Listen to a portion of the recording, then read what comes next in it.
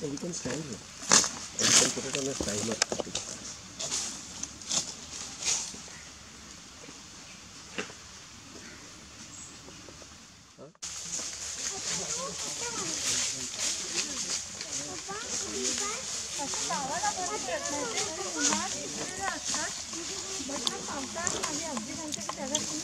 जातात म्हणून वर बांधलेले त्या ब्रिजने नाही जाऊ शकत तर सरळ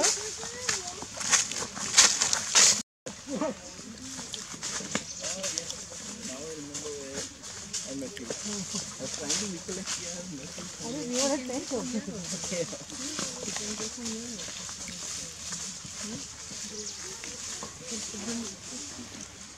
Very shambles and dilapidated condition. Once we came here in the evening, mm. I'm talking about 40 years ago, mm. and there were two of my uh, female friends. One is retired head of Mithilai College now, uh, and Renuka and all. So we were here, and then we said we were wanting to stay. तो वो guard के cabin में हम लोग there were whole crazy, lot of crazy things. But like, how did you manage?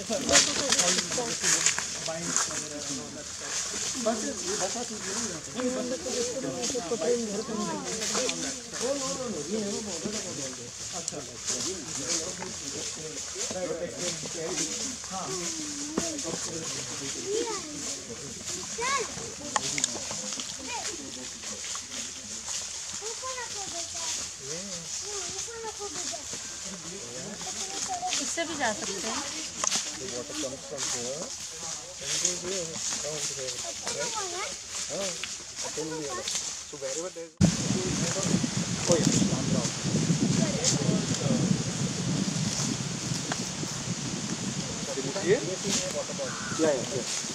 It's just about to come in the field. all of you.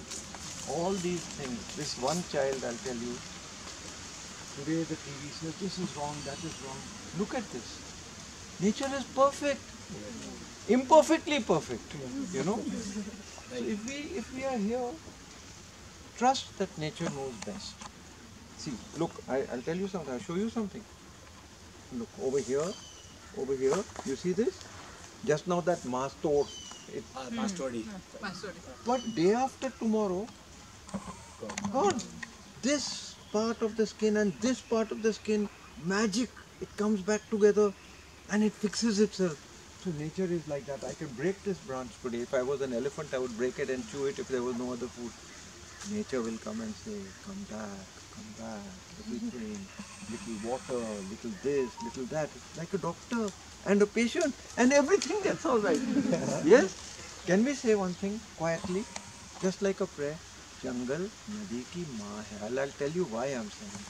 Can we say it? One, two, three, softly.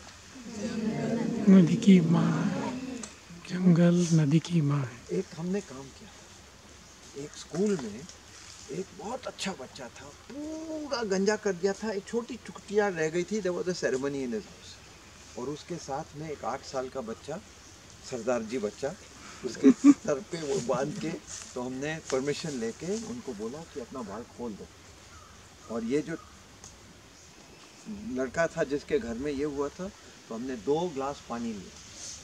तो एक टकलू sir के ऊपर गिराया और एक इस बच्चे के ऊपर गिराया। तो फिर हमने सबको पूछा कि किसके बाल में पानी अब तक है? दो मिनट के बाद। तो ऐसा ऐसा किया तो निकलता ही जाता है सरदार जी के सर से। तो हम ये कहते हैं कि हम अपनी दुनिया को टकलू बनाना चाहते हैं कि बाल के तो जो टकलू है यहाँ माफ़ कीजिए बाकी सिर्फ़ एक दुनिया को सरदार जी want we want the earth to be the way it is. And we are very lucky.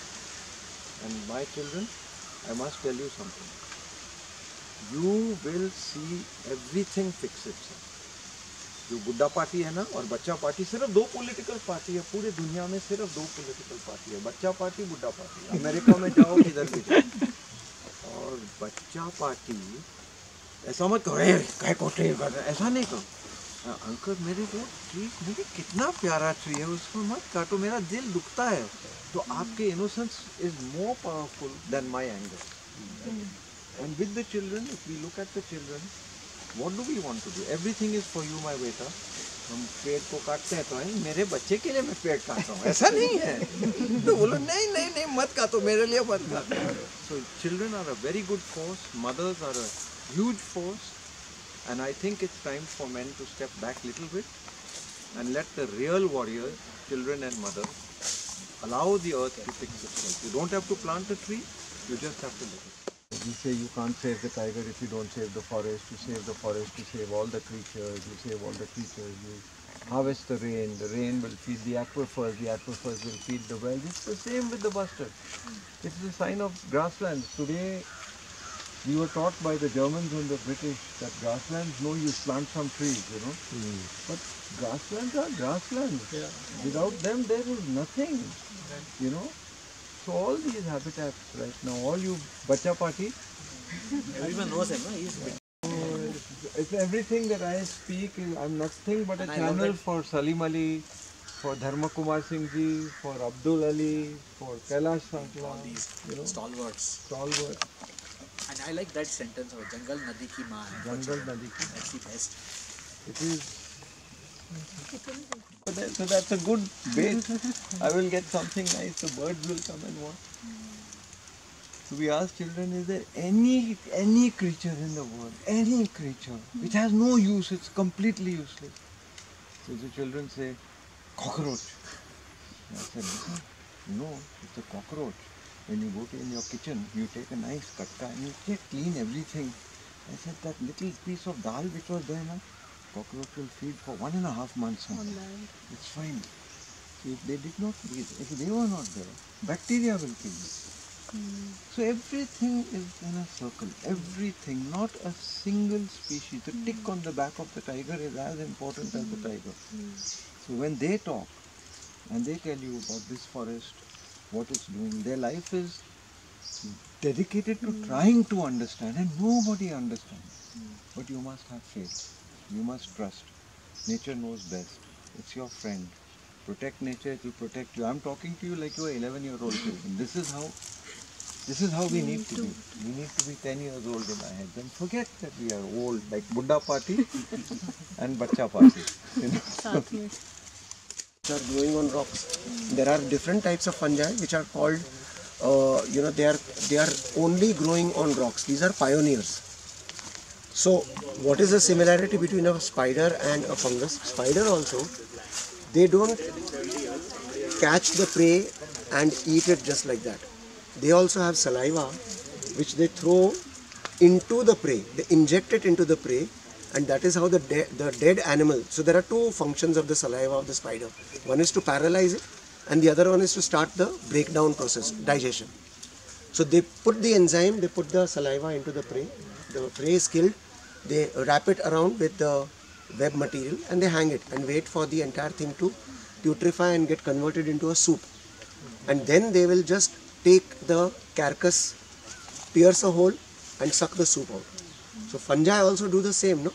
They also have roots with which mycelia, with which they will throw the acids out, and that will break down the food outside the fungi, convert it into material which can be absorbed by the roots, like a soup, and then that will be absorbed. But I mean, the story of mycelia is like it's phenomenal. Unbelievable. People, you can't walk so- anywhere without having mycelia under your feet. So we were believing all this while, you know, these trees, you feel, uh, sorry if there are giants, but I'm going to break your uh, thought process. When you say that uh, trees don't have emotions and trees can't feel and trees can't communicate, all that is wrong. Trees can communicate, they have stomata with which they can release the materials in the air and other if there's a woodcutter coming from here the trees can release chemicals in the air which are stress hormones and when these stress hormones are released other neighboring trees come to know that there is some danger so they will shrivel they will close their leaves. Whatever is their defense strategy to escape from a predator they will do that. So this is aerial.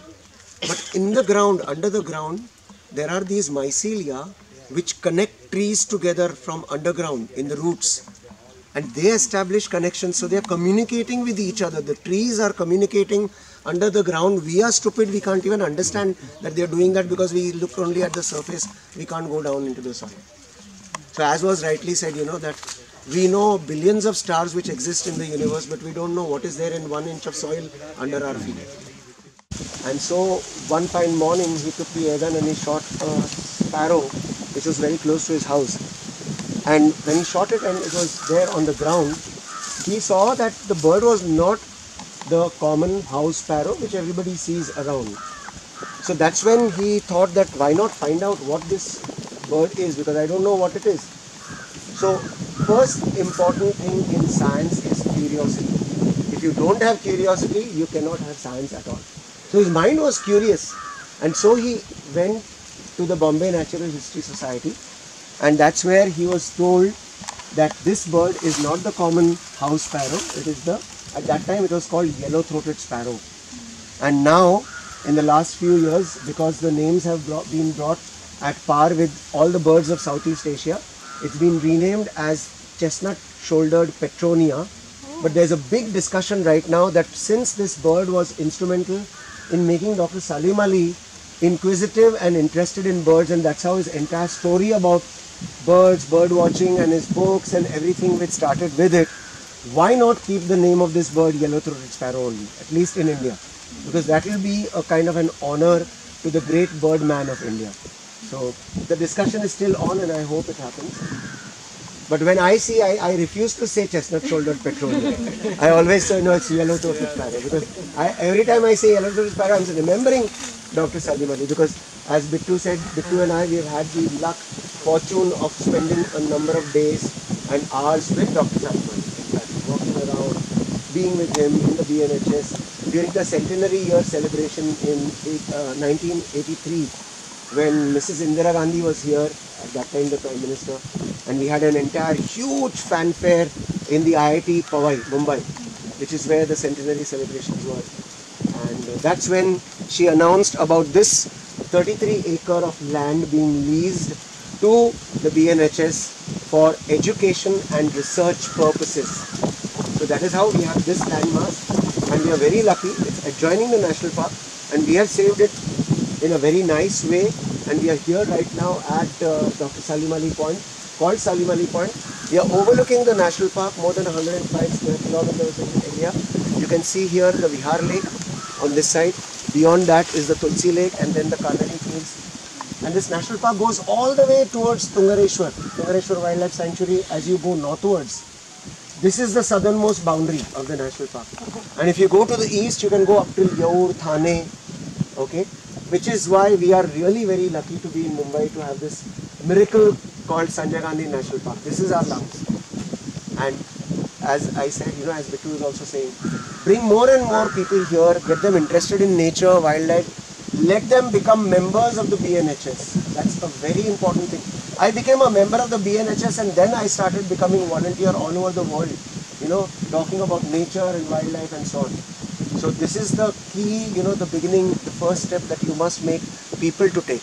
Become members of BNHS and we have a wealth I mean, you go to the BNHS library and you'll see huge number of people are now going drifting away from books. What a sad thing it is, you know, just referring to computers and mobile phones and iPads. There's so much knowledge wrapped in books. And handling a book and seeing the old photos and all that, we have 150, 200 years old books. They are all history of Mumbai, and you see some of them. Of course, you need special permission, and they are all locked up in a nice room. But uh, we are trying to get them replicated and so on and so on. Yeah, these books are a treasure that you must go and. And of course, in the BNHS, we have stuffed specimens of birds, animals, and so on. And without these, I am telling you, there would not have been science and taxonomy. Dr. Salim Ali started as a hunter and a gatherer and a shooter of birds. Gatherer gathering specimens to study. Without that, we would not have been able to come out with all the papers. Today, somebody wants to study birds in India, wants to make a book on birds of India, they have to refer to these dead specimens. So it is wrong to say that the birds are all a graveyard and this is a misery that we have caused in nature and all that nonsense. No. Sometimes some things are needed for science without which science cannot proceed, it cannot progress.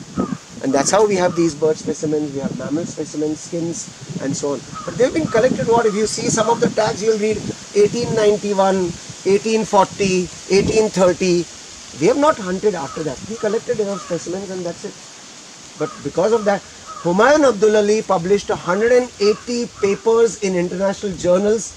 He should have been given a doctorate degree without any uh, study at all. He was a commerce person. Talk to us about Humayun Abdulali again.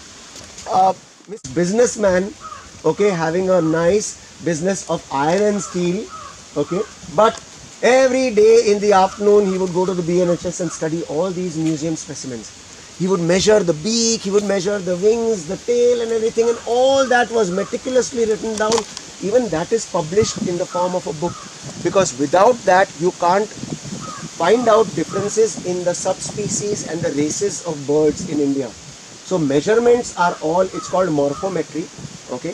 Measurements are extremely important to know the variations. See if you have some individuals which are from north, from east, from south, there will be variations in these species and these species variations are the ones which brought out the taxonomy of the birds of India.